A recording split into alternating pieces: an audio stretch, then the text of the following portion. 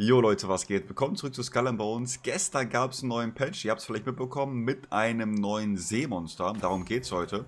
Unter anderem auch noch viele kleinere Patches und eine Sache, die richtig, richtig cool ist. Ich würde sagen, wir fangen an mit den kleinen Patches. Und zwar wurde ähm, gepatcht, dass ihr an Inseln wieder Wasser einsammeln könnt. Dabei ja die Respawn-Zeit kaputt. Und auch, dass ihr auf dem Meer ähm, Haifleisch und andere Tiermaterialien wieder einsammeln könnt. Das war ja auch äh, verbuggt, dass man die nicht mehr einsammeln konnte. Dann wurden noch einige Quests, äh, wo Bugs drin waren, angepasst. Und das war es eigentlich mit den Bugfixes, zumindest die, die ich so mitbekommen habe. Und dann gab es eine Sache, die habe ich gar nicht mitbekommen. Und als ich die dann gestern Morgen mitbekommen habe, ja, ich konnte es kaum glauben. Man kann jetzt Manufakturen einsammeln, während man eine Agro hat. Das heißt, man kann immer das, die Manufaktur ansprechen und auch immer einsammeln. Das ist richtig, richtig cool. Das ist für mich eigentlich die beste Nachricht überhaupt. Nachdem wir mit Start von Season 1 übertrieben viele Gegner hatten, ich mit dieser Münzrunde fast zwei Stunden gebraucht habe, dann wurden die Gegner wieder reduziert. Da war die Münzrunde bei mir ungefähr bei einer Stunde 10 Minuten. Und jetzt ist die Münzrunde unter einer Stunde und auch noch weit unter einer Stunde. 50 Minuten oder so mit der Bark. Also Afrika und Rote Insel, wer da jetzt wieder in die Münzjagd reingehen will oder sich ein paar Münzen holen will für den für die wöchentliche Sovereigns und auch für die nächste Season. Das kann auf je, könnt ihr auf jeden Fall jetzt wieder machen. Ähm, ihr könnt natürlich euch auch nur auf Indien konzentrieren. Dort ähm, braucht ihr weniger Zeit als 50 Minuten bzw. eine Stunde und habt viel mehr Manufakturen. Das bleibt aber euch überlassen. Auf jeden Fall eine sehr coole Änderung. Und dann kommt eigentlich jetzt erst der Part, den wir alle erwartet haben. Erstens haben wir Schlund Schlund, Schlund, irgendwas mit Schlund, genau, Schlund der Vergeltung bekommen. Das ist nämlich die Mission, die Kopfgeldmission mit dem neuen ähm, Gegner, dem Zamaharibo. Den nehme ich mal an und dann können wir mal direkt gucken, wo der rumlungert, der Halunke. Äh, den habt ihr gerade gesehen, da stand äh, am besten mit zwei Spielern. Es ist auch möglich, den Solo zu spielen. Wie das geht, erkläre ich euch gleich. Da gibt es nämlich zwei Sachen, wo ihr drauf achten müsstet. Der ist nämlich auch leider verbuggt und hat eine One-Hit-KO-Attacke. Da äh, müsst ihr da ein bisschen aufpassen, aber das schauen wir uns jetzt einmal an. Also, ihr findet den Samaribo, hier Schluntervergeltung, über Grand, Grande Filet und rechts von Kokok Terapung. Boah, die Namen habe ich noch nie gelesen, aber genau hier ist er. Und ich weiß, viele fragen jetzt schon, ey, wie kann ich den respawnen? Wie kann ich den öfter als einmal am Tag machen? Aktuell ist es so, dass die, das Kopfgeld alle 24 Stunden resettet wird. Also auch nicht äh, nachts nach der Wartung, sondern wirklich 24 Stunden. Das habe ich selber heute Morgen ausprobiert. Ich habe um gestern um 7 Uhr die Mission angenommen und heute um 6 Uhr konnte ich die Mission nicht annehmen, das Kopfgeld. Bedeutet, hier ist wirklich ein 24-Stunden-Timer drauf. Bedeutet für alle, die das solo machen, ihr könnt diese Mission nur alle 24 Stunden machen. Das ist auch richtig schade, war wieso, da komme ich gleich drauf. Ähm, ja, und wenn ihr den respawnen wollt, sind wir uns noch nicht so ganz sicher, wie das funktioniert, weil wir hatten schon das Gefühl, dass er ganz automatisch dort immer wieder auftaucht äh, ohne dass wir alle ein Kopfgeld hatten. Aber so 100% sicher bin ich mir da nicht. Und ob man den äh, spawnen lassen kann, wie das Kuaribo durch das Pullen von der Mission oder auch eben nicht und dem äh, Gruppenwechsel, bin ich mir auch noch nicht so ganz sicher. Äh, einige hatten auch gesagt, es hilft, wenn man einfach den Server wechselt und dann sollte der wieder an der Stelle sein. Also da könnt ihr gerne mal unten in den Kommentaren eure Erfahrungen reinschreiben, da bin ich sehr gespannt. Und vielleicht kriegen wir dann zum nächsten Video schon eine Lösung, wie man den eventuell mehrmals am Tag besiegen kann. Wieso ist das Samaribo überhaupt sich, äh, wichtig? Weil das Samaribo uns ein neues Item ins Spiel bringt, welches essentiell ist für die Fertigstellung von der Ouroboros. Das ist eine Panzerung, die haben wir schon seit Anfang des Spiels drin. Die können wir jetzt endlich herstellen, auf die werde ich gleich auch eingehen. Ähm, und das Item, wenn ich es finde, dann kann ich es euch auch zeigen. Samaribo Schuppen. Diese braucht ihr zusätzlich natürlich zu den 10, die wir vorher auch schon hatten, um die Ouroboros zu kaufen. Die Blaupause, ich zeige euch das einmal, weil die Frage kam sehr oft, bekommt ihr auf Lanitra. Lanitra ist hier, direkt über St. An. Da solltet ihr eigentlich auch im Early Game schon mal da gewesen sein. Aber ich zeige euch trotzdem. Bei Lanitra gibt es einen Händler, der verkauft euch Sachen für Zähne. Bedeutet, wenn ihr schon in der Vergangenheit das Kuaribo das ein oder andere Mal besiegt habt und schon Zähne, Zähne habt, dann könnt ihr hier sowohl das ähm, Skin-Set, was ich ja auch gerade trage, äh, kaufen, als auch die Ouroboros für 50 Zähne und da seht ihr schon, benötigte Materialien sind vier Zamaribo Schuppen und vier monströse Zähne, zusätzlich zu ein paar anderen Sachen. Bastölpel Salpeter könnt ihr auch farmen bei den Bastölpeln oder kaufen im Schwarzmarkt. Ich werde jetzt mal eben zum Zamaribo fahren, weil der hat, wie gesagt, diese eine Attacke, die euch one-hitten kann, wenn ihr dort nicht aufpasst.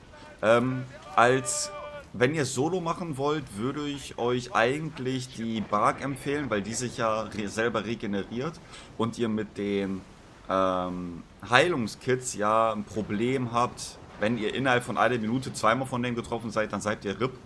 Ähm, Schnau könnte auch fun funktionieren, wenn ihr dann die Ouroboros habt. Wieso, das erkläre ich gleich mit der Ouroboros.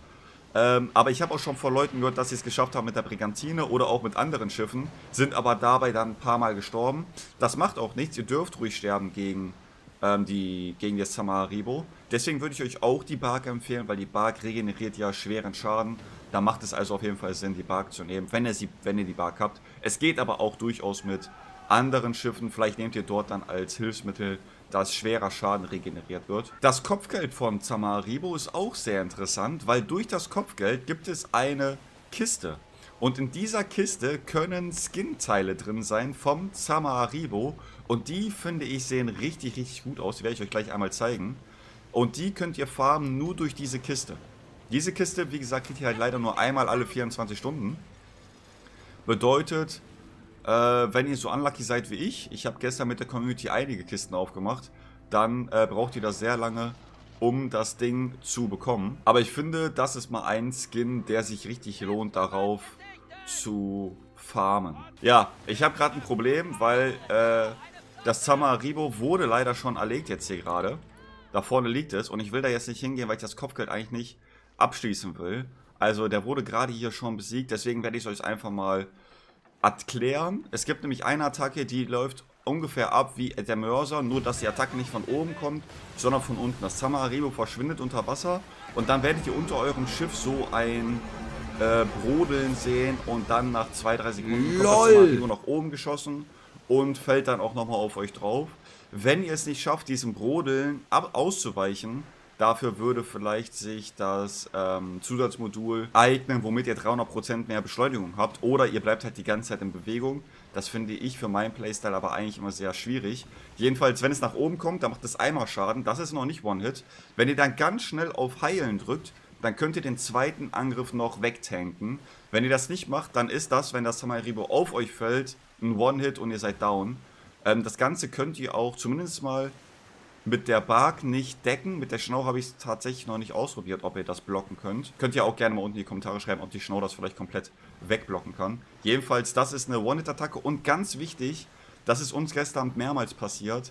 Ihr dürft das Samaharibo nicht besiegen, während es genau diese Attacke macht. Weil wenn es in dieser Animation ist und ihr dann einen Schuss, weil es dann ist ja eigentlich sehr gut angreifbar, äh, wenn ihr es dann aber killt, dann verbuggt es und ist einfach despawned und taucht auch nicht mehr auf. Da müsst ihr wegfahren, wieder ein paar Minuten warten, wieder hinfahren, das komplett neu besiegen. Deswegen auf gar keinen Fall besiegen, wenn es in dieser Animation ist. Wenn das noch mehr als Hälfte Leben hat oder ihr es nicht besiegt, dann könnt ihr es auf jeden Fall angreifen.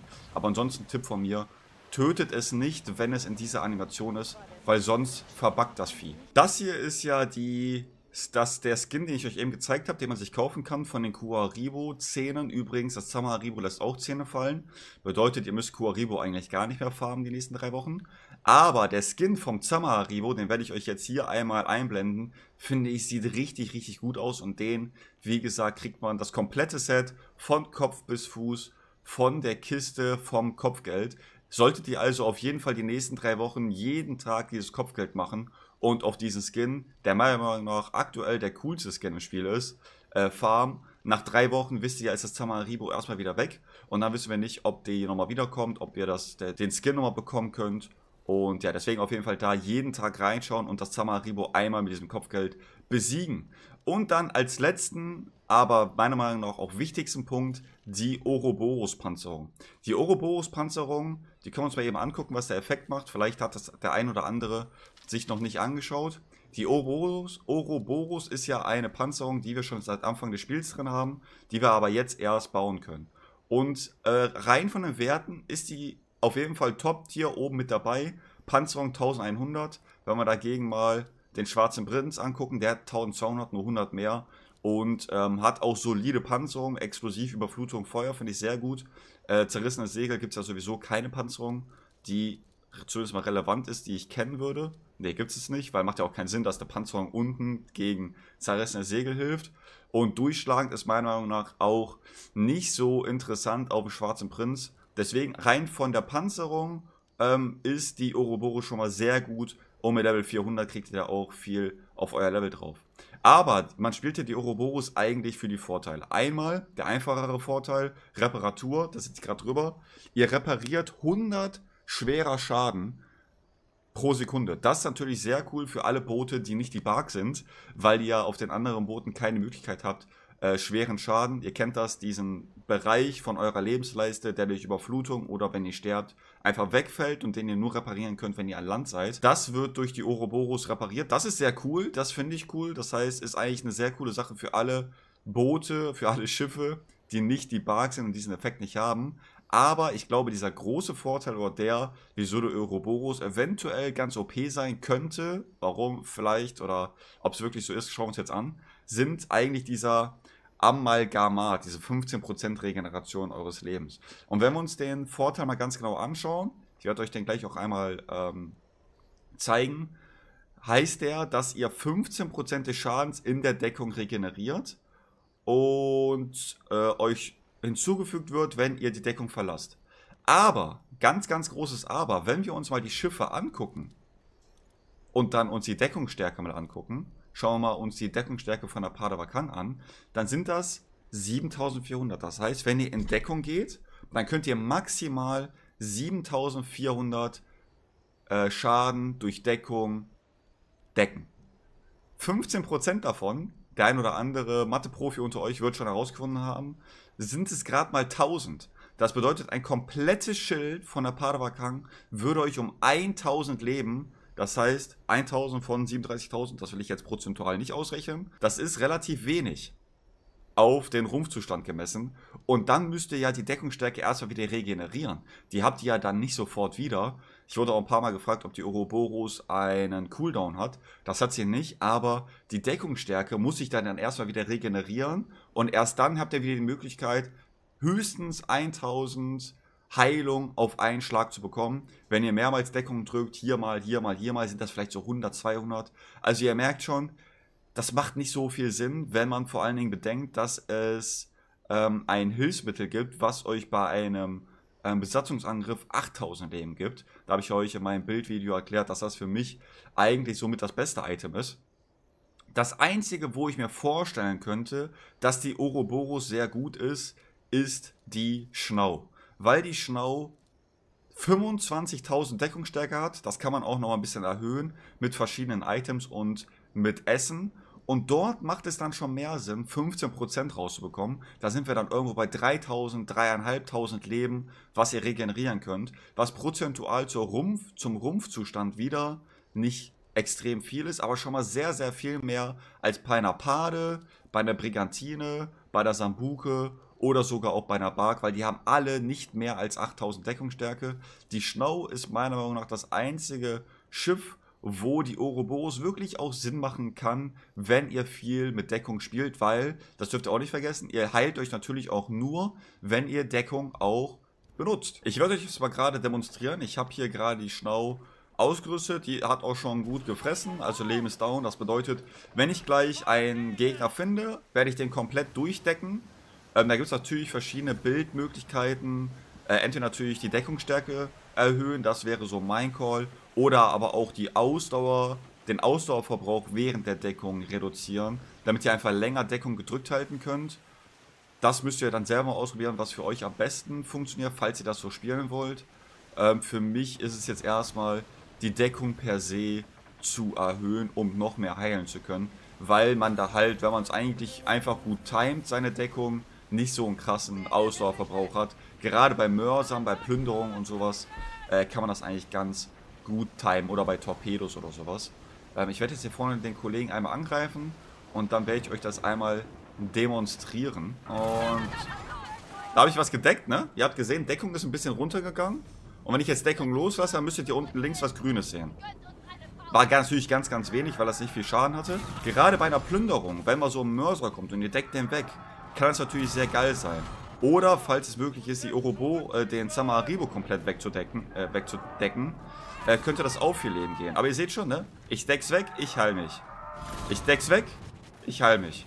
So, ne? Also es ist schon, aber halt wenig, ne? Wenn ihr jetzt gegen mehrere Gegner kämpft und vielleicht nicht die Schnau habt, dann glaube ich, macht das nicht so viel Sinn. Lawyer hat eigenen, Gegner, äh, seinen eigenen Kollegen angegriffen. Dann glaube ich, ist das nicht so von Vorteil, weil ihr, ihr seht, das geht auch übel auf die Ausdauer. Also, ja, es ist also nicht so easy mit der Ouroboros und meiner Meinung nach auf jeden Fall nur sinnvoll für die Schnau und nicht für die anderen Schiffe. Aber für die Schnau eigentlich schon eine sehr coole Sache, um nochmal eine Möglichkeit, haben, Möglichkeit zu haben, sich zu heilen. Vielleicht nochmal dann auf ein Besatzungsangriff-Bild gehen, womit man sich dann auch nochmal zusätzlich heilt. Also da kann man auf jeden Fall geile, äh, coole Sachen machen. Ich hoffe, ihr habt die Ouroboros jetzt weitestgehend verstanden. Weil äh, ich habe da sehr viel Fragezeichen gestern im Stream gesehen. Ich hoffe, es kam jetzt rüber, was die Ouroboros kann und vor allen Dingen auch, was sie nicht kann. Ist wirklich eine solide Panzerung, aber ich denke, am meisten Sinn macht es wirklich nur auf der Schnau. Auf den anderen Schiffen ist ein schwarzer Prinz oder auch ein Verwalter immer noch die bessere Wahl. Das war relativ viel zu erzählen, was gestern im Patch gekommen ist. Glaubt man gar nicht. Ne? So ein ganz kleiner Patch, der eigentlich nur einen Gegner mit reingebracht hat, hat eigentlich so viel neuen Stuff reingebracht. Und äh, richtig coole Sachen. Das mit dem Skin zum Beispiel, den man jetzt farmen kann. Natürlich nur einmal am Tag solo. Äh, vielleicht habt ihr einen Kollegen, dann könnt ihr mit einem Sharing von der Mission auch zwei am Tag bekommen. Oder vielleicht euch auch auf, absprechen auf Discord. Äh, Link dazu ist unten in der Beschreibung. Ansonsten würde ich mich natürlich sehr über ein Like freuen auf dem Video oder einem Follow auf den Kanal und sage bis zum nächsten Mal, Leute. Haut rein.